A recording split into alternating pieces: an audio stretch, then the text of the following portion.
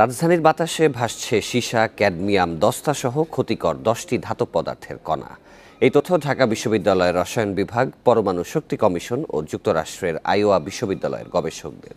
তারা বলছেন, নগরীর অন্তত আটাশিটি স্থানে বায়ু দূষণ বেশি। দূষণ নিয়ন্ত্রণে রাখতে না পারলে করোনা সংক্রমণ আরও বাড়বে বলে আশঙ্কা তাদের।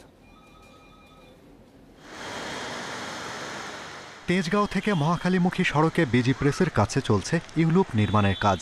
রাস্তা খোঁড়াখুঁড়ির পাশাপাশি খোলা অবস্থায় বালু ও মাটি আনা নেওয়া হচ্ছে। একই সড়কের সাত রাস্তার কাছে তিতাস গ্যাসের লাইন সংস্কারের কাজও চলছে উন্মুক্তভাবে। ফুটপাত ও সড়কের অর্ধেক অংশ জুড়ে রাখা হয়েছে বালু, পাইপ ও আবর্জনা। রাজধানীর এই সড়ক গণপরিবহন ও অন্যান্য যান চলাচলের কারণে দিনের বেশিরভাগ সময় ব্যস্ত থাকে। যানবাহনের ধোঁয়া আর রাস্তার ধুলা মিলেমিশে অতিষ্ঠ করে তুলেছে এলাকাবাসীকে।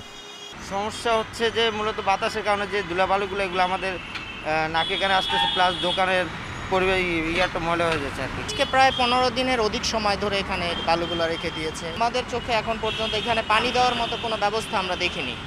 ধোঁয়া ধোঁয়ায় ধূসর মিরপুর। শুকনো মৌসুমে এই দূষণের কবলে পড়ে বনশ্রী, বেড়িবাঁধ, কল্যাণপুর, মহাখালী যাত্রাবাড়ি, সায়দাবাদ, কদমতলী সহ রাজধানীর বেশিরভাগ এলাকা। সম্প্রতি বায়ু দূষণ বন্ধে নয় দফার নির্দেশনা বাস্তবায়নের পদক্ষেপ গ্রহণের নির্দেশ দিয়েছে হাইকোর্ট। যার মধ্যে রয়েছে মাটি, বালু, বর্জ্য ঢেকে পরিবহন, নির্মাণ সামগ্রী ঢেকে রাখা, কালো ধোঁয়া নিঃসরণ করা গাড়ি জব্দ।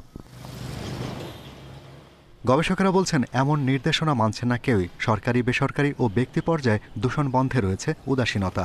দুইটা সিটি কর্পোরেশনের ভালোভাবে উদ্যোগ নিয়ে প্রচুর পরিমাণে পার্টিন সিট আর সিট অ্যাটলিস্ট দুইবার করে।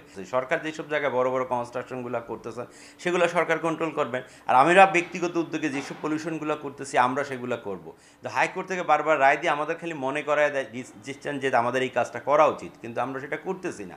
রাজধানীর আটাশিটি জায়গার বাতাসে ভয়াবহ মাত্রায় সীসা, ক্যাডমিয়াম, দস্তা, ক্রোমিয়াম, নিকেল, আর্সেনিক ম্যাঙ্গানিজ ও কপার শনাক্ত করেছেন পরমাণু শক্তি কমিশন ও ঢাকা বিশ্ববিদ্যালয়ের গবেষকেরা চিকিৎসকরা বলছেন, শ্বাসতন্ত্রে সংক্রমণ আগের চেয়ে বাড়ছে। এছাড়া নগর জুড়ে এমন বায়ু দূষণ থাকলে ভয়াবহ রূপ নিতে পারে করোনা সংক্রমণ।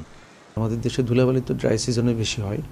তো সেই সিজনে কিন্তু আমাদের বক্ষব্যাধিতে আউটডোরে মানে রোগীদের সংখ্যা অনেক বেড়ে যায়। এয়ার পলিউশন বাড়লে এয়ার মানে বরণ যে ডিজিজগুলো, লাংসের যে রোগগুলো, সেগুলো কিন্তু তুলনামূলক গত যা বছর যাচ্ছিল এবার আরেকটু বাড়বে।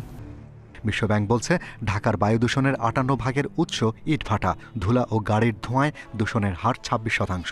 তবে পরিবেশ অধিদপ্তর বলছে, এবছর প্রায় সাড়ে চারশো অবৈধ ইটভাটা বন্ধ করা হয়েছে। নির্মাণ সামগ্রী ঢেকে রাখার নির্দেশনা দেয়া হয়েছে। Shahriar Anirban, Independent News, Dhaka.